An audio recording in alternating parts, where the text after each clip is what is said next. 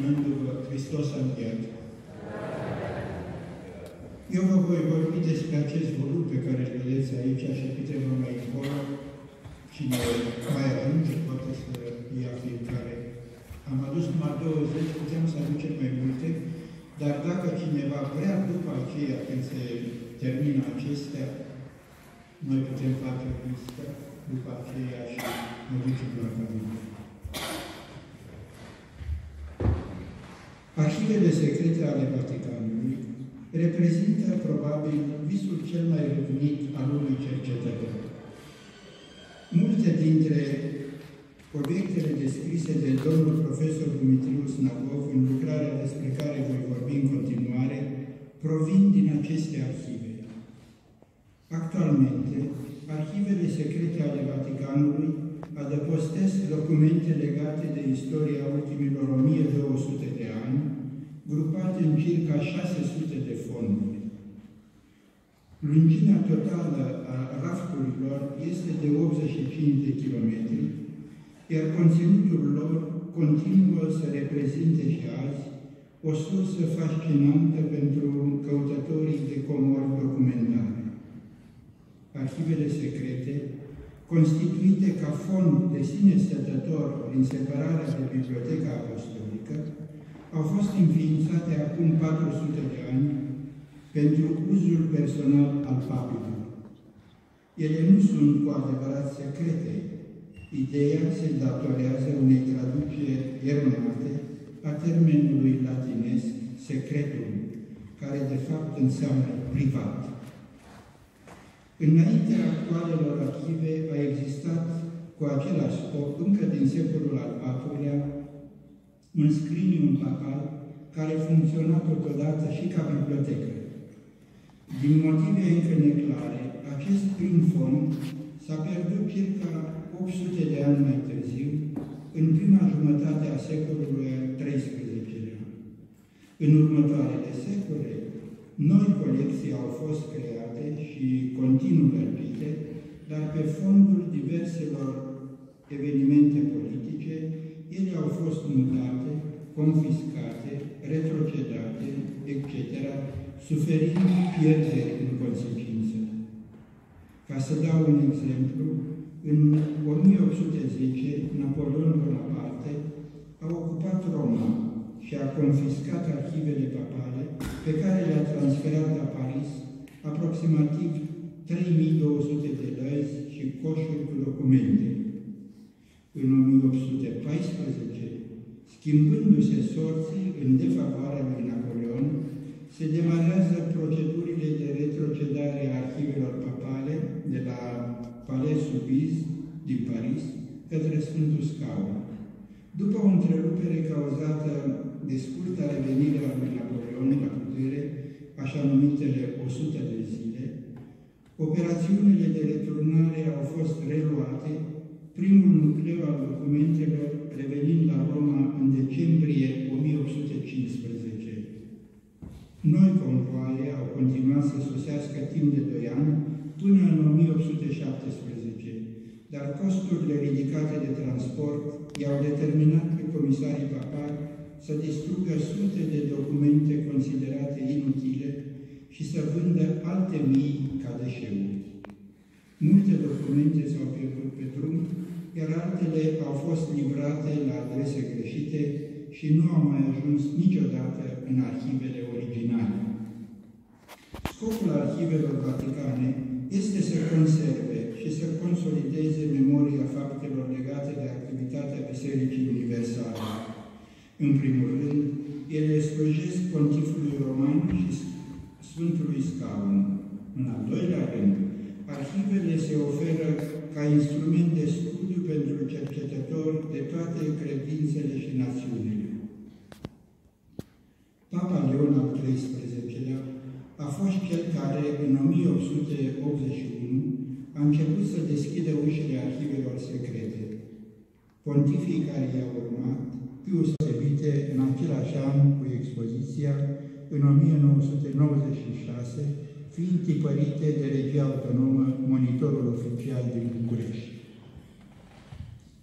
Expoziția și volumul care a însoțit-o titlul de monument a României Vaticane, adică amintiri, mărturii sau atestări ale României la Vatican. La bază stă un dublu obiectiv. Pe de o parte, acela de a face cunoscută istoria României creștine unui public internațional, iar pe de altă parte, acela de a face cunoscută publicului românesc îndelunga relație pe care Biserica Catolică a întreținut-o cu statul și Biserica de diferite confesiuni din România. Mai ales acesta, al doilea obiectiv, este de un interes deosebit pentru noi românii, deoarece prezintă aceleași evenimente istorice ca în oglindă, odată văzute din prisma locală, a celor de aici, și a doua oară, din prisma documentelor păstrate la Sfântul Scaun, oferind astfel detalii și puncte de observație inedite. Roadele acestei activități laborioase s-au concretizat prin selectarea a 152 de exponate dintr-o masă enormă de documente privitoare la România.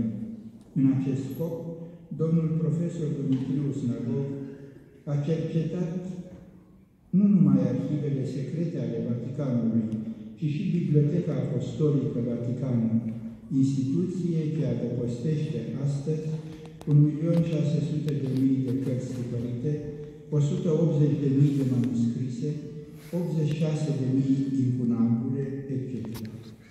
Inițial, formând un corp unic cu arhivele, Biblioteca a cunoscut avatarul decizia oficială a suveranilor pontifi actele de organizare a Bisericii Catolice de pe teritoriul românesc au reflectat fidel aspirațiile naționale ale românilor, ajungând chiar să anticipeze cu ani buni exprimarea lor politică.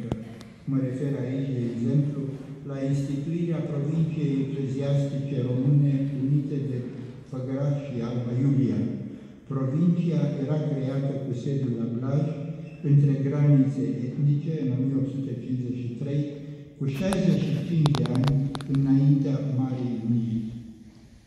În introducerea ce urmează, un fel de editorial, profesorul Dumitriu Snagov caută să puncteze cele mai importante jaloane în anul istoric cuprins.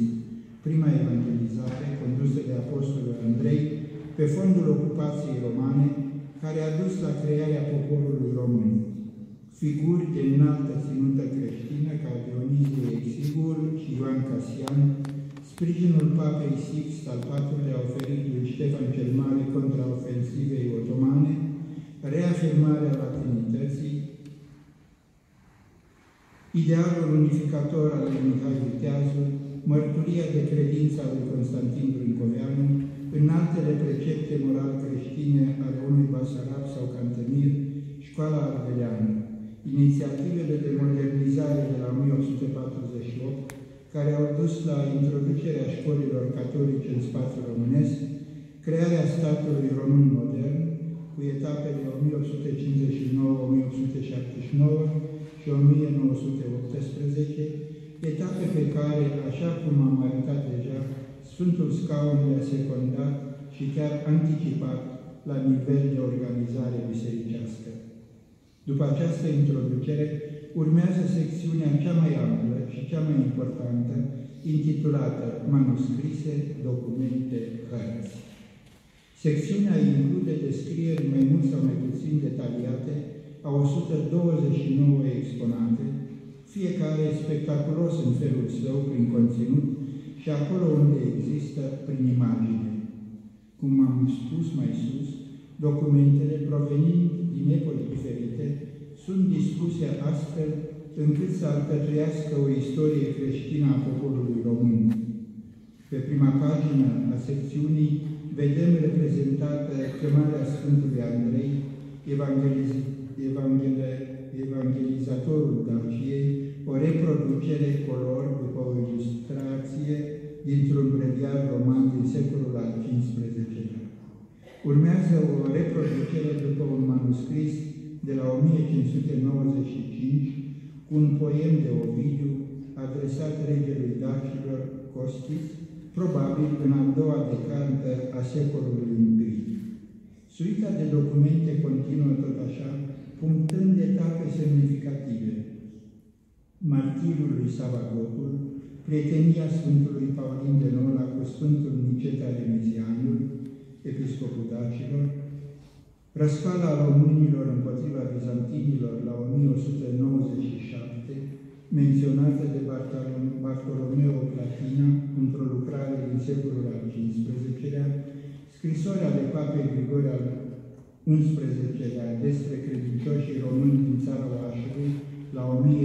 1377, din care reiese voința localnicilor de a apăra unitatea bisericii chiar înainte de conciliul de la Florența, diploma de unire a bisericilor creștine, catolică și ortodoxe la același conciliu, în 6 iulie 1439, intervențiile papilor Six al IV-lea și Inocenț al VIII-lea pentru pacea și unitatea creștinilor, în vremea lui Ștefan cel Mare, sprijinul acordat de Petru Movilă, devenit mitropolit de Kiev creștinilor din lumea arabă, și Aslovul Arab tipărit la București în 1702 de către Patriarhul Melchita Atanansie al IV-lea, pe cheltuiala lui Constantin Bulcoveanu și îngrijit de călugărul Intima Ivirianul, documente legate de emanciparea românilor din Transilvania, revoluțiile de la 1821 și 1848, însărcinarea lui Costache Negri de către Cuza pentru a se ocupa de încheierea unui concordat cu Sfântul Scaun și, în fine, un frumos atlas istoric al României, prezentat de Arhiepiscopul Cisar cu ocazia vizitei Ardimina la Vatican în 1928. Nu este timp aici să intru în mai multe amănunte. Despre ilustrații semnalez doar una pentru valoarea ei artistică, o planșă color de 40 pe 50, ce reproduce o hartă pictată de Rafael între 1513 și 1518 în faimoasa terța logia sau logia de la cosmografia, aflată chiar lângă apartamentele papale. Aici sunt reprezentate cu munții, apele și cetățile lor cele trei provincii române, Valahia, Moldova și Transilvania. Volumul conține multe alte cărți vechi ce înfățișează România, între care și una în limba chineză, aparținând lui Mateo Ricci, de pe la anul 1602-1603. Tot la capitolul ilustrații, aș dori să amintesc și de Madonna Română, o miniatură dintr-un prăznicar din secolul al XVI-lea, în care Maica Domnului și pruncul sunt îmbrăcați după portul românesc. Aș dori, în final, să fac o scurtă referire la aparatul critic. Volumul Monumenta României Vaticana este, de fapt, cum spuneam, catalogul expoziției omonime. În carte, pe lângă titlul fiecărui document exponat apare și un comentariu, în unele cazuri însoțit de reproducerea obiectului respectiv. Unele titluri, dar nu toate, au și trimiteri bibliografice, precum și o casetă tehnică în care se indică sporadic autorul, data, tipul de material folosit sau fondul arhivistic de proveniență. Spre finele cărții apar un index de nume proprii și un index cronologic de referință. Din păcate, ambele indexuri sunt doar în italiană, la fel ca și lista cu sursele ilustrațiilor și bibliografia selectivă de la sfârșit. Caracterul vizibil incomplet al aparatului critic denotă pe de o parte efortul imens de identificare și selectare a documentelor, efort care nu i-a mai lăsat lui Dumitriu Snagov puterea să șlefuiască și aspectele tehnice. Pe de altă parte, situația indică și faptul că ne aflăm totuși în fața unui volum publicat sub presiunea unor termene de moment. Faptul este recunoscut de autorul însuși atunci când vorbește în postfață, cuvânt la ediția a doua, despre posibilitatea de a îmbogăți ediția a doua cu noi piese aflate în afara catalogului inițial, pe care le și tratează amplu în aceeași postfață. De la reconstituirea prin tehnică nucleară a culorilor originale de pe columna lui Traian, la documentul de înființare a Arhiepiscopiei Romano-Catolice de București în 1883. Papa Francisc spunea la un moment dat că un bun teolog sau filozof nu-și duce niciodată gândul până la capăt. Nu se complace într-un mod de gândire completă, închisă, ci își lasă ideea deschisă pentru comentarii și dezvoltări ulterioare, știind că adevărul este întotdeauna mai mare decât cel care îl rostește. Ne aflăm pe un drum al cunoașterii în care înaintăm progresiv. Aici se poate situa și lucrarea profesorului Ion Dumitriu Snăgov, o lucrare care se cere sigur reluată, revizuită, continuată și dezvoltată, așa cum el însuși anticipa chiar în prefață, atunci când propunerea atunci când propunea realizarea unor volume tematice. Monumenta României Vaticană a avut drept scop să marcheze un eveniment istoric, un moment aniversar. Dar drumul pe care l-a deschis nu se poate opri aici. Recomand călduros aprofundarea datelor strânse cu trudă de domnul Dumitriu Snagov într-un mod care să permită o mai bună mediere a informației către publicul larg, sub formă de sinteze tematice, corelate și cu alte surse.